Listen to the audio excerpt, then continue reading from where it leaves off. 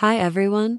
Today I am going to show you how to get neon pets in one day in Adopt Me. As a neon collector, I have used all of these methods before and they are really helpful. These are the pets I got in just a few days from using only half of these methods. Okay, so the first method is to trade eggs. You can trade 3 to 9 Southeast Asia eggs for a neon pet. This is a really good method because all you have to do is get some eggs and trade them. I suggest trading any Gumball Machine eggs as those are in game for a limited time. Here is a trade I got for 3 Southeast Asia eggs. I got a neon ant for basically 3 pets. You can also trade in game eggs for decent offers, but it will be way harder to get a neon pet from those. If you have out of game eggs like Japan eggs or mythic eggs, you could also trade those, because then people will give good offers for those. An example is the fossil egg. It's worth around 1 to 2 legendaries. Here's a trade that I've gotten for a fossil egg in the past. It was a win trade, and usually you can get at least one legendary pet. You do need to save enough bucks to buy the eggs, but it's still a really good method since you don't even have to age pets. The next method also involves eggs, and it is to hatch eggs. When you hatch eggs, you have a high chance of getting duplicate pets. So if you get four of a pet, you can make it neon. Hatching eggs can also help to grow your inventory, and you could even trade some pets you get for neons if you don't want to age the pets. I can already make a neon Bali Starling and a neon banded palm civet from hatching eggs. You could also get legendary pets from the eggs if you're lucky and trade those for neons. Here are some eggs that I hatched, and I got a lot of common pets which would be easy to make neon.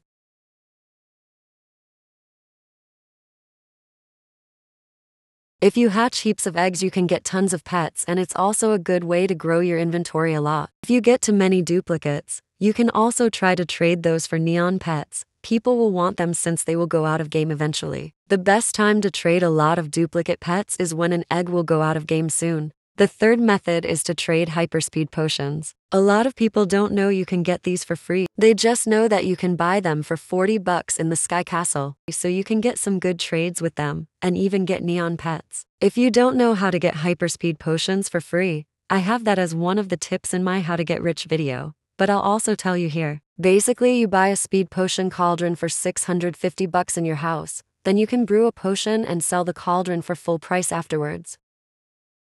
I have gotten a Neon Buffalo for 5 hyperspeed potions before, and just recently someone traded me a Firefly for 9 potions, which is a big win. You can also try trading anti gravity potions or big head potions, which you can also get cauldrons for those in your house. But hyperspeed potions are easiest to trade, since they make you faster and are useful to a lot of people who are aging pets and want to go places faster. The next method is to profit trade. Profit trading can help you get good pets fast and even good neon pets. But if you want to profit trade, you need to have a decent value pet like cow, elephant, kangaroo, or anything that has a higher value. If you don't have a decent value pet, you can trade neons or legendary pets for one, using the previous methods to get those. Once you have a mid to high tier pet, you can trade it for an overpay and then trade a fair offer with some of those pets back for the original pet you traded. Then you can keep the profit. If you have a higher value pet, you can get bigger overpays for it. Here is a profit trade I did with my cow. I did it on my alt account because it's easier to trade on there. Usually profit trades just take two trades, but this one has a few more trades. In the end, I got to keep two legendary pets and some ads from doing that.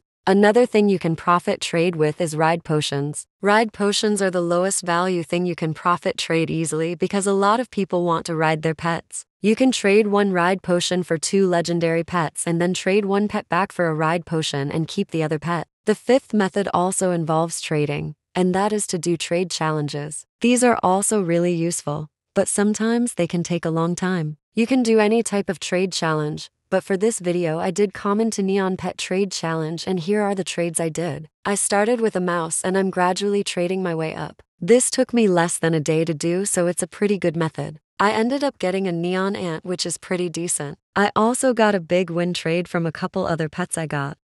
I've done other trade challenges before, such as Common to Neon Legendary, which only took me five days to do. Trade challenges are a faster way to get neons if you have the patience to do them. Method 6 is to trade new pets. Whenever a new pet comes in game, you can get it as fast as you can and trade it for a good offer. People will offer a lot for new pets because they want to get them fast, so you could get a lot of neon pets by doing this. New Robux pets are the best to trade but if you don't have Robux, then other pets are also good to trade. I have used this method a lot and I got neon legendaries and even high tier pets from trading new pets. It's really important to get and trade a pet before the value decreases because the value of a pet will decrease a lot when more people have it. Here are some trades I have done in the past when pets were new in the game and as you can see, the offers are really good. I really recommend this method because anyone can do it and it's fairly easy to do. It's also better to trade new pets than waiting for them to go out of game and then trading them because the value is usually the highest when pets were just added and not when they're out of game. The next method is similar to this one,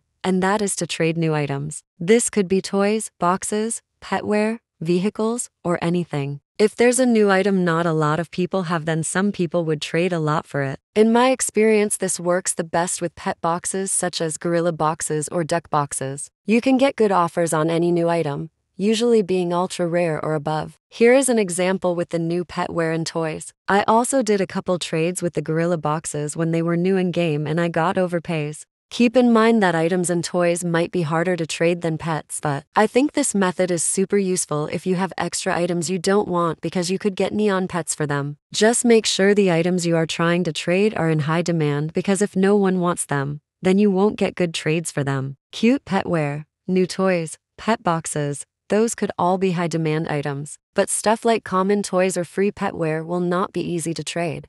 The last method is for people who want to age pets and it's to use alt accounts. Alt accounts are really useful when making neons because even having one alt account will let you age pets twice as fast. If you have more than one device, you could make and use alt accounts to help you age pets way faster. There's also a way to have multiple accounts open on the same device, but I'm pretty sure it only works on PC. If you have a PC, you don't need any other devices for alt accounts because there is a way to have multiple accounts open on there. Since I play on mobile usually, I don't know how to do it, so if you want to, you can look it up. If you make any alt accounts, you can just trade a pet you want to age to your alt and then make a family and invite your alt account. Then you can hold both pets at the same time and age pets at the same time. You can do this with as many alt accounts as you want, but it will be harder to keep track of stuff if you have a lot of accounts. This method makes it way faster to make neons, but if you don't have another device or a PC, you can have someone you trust help to age pets. I don't suggest doing this unless you know them, IRL, because a lot of people could be scammers. If you are aging pets, also make sure to have a grinding house to make it easier. Grinding houses will help a lot because you can do a lot of needs in one place and don't have to walk all over the map to do some needs. I have a few grinding houses and I can say they are really useful, especially if you have multiple accounts on. Okay, those are all 8 of my methods for getting neon pets fast. I hope this video helped you guys a ton and I hope you enjoyed it. Bye, guys.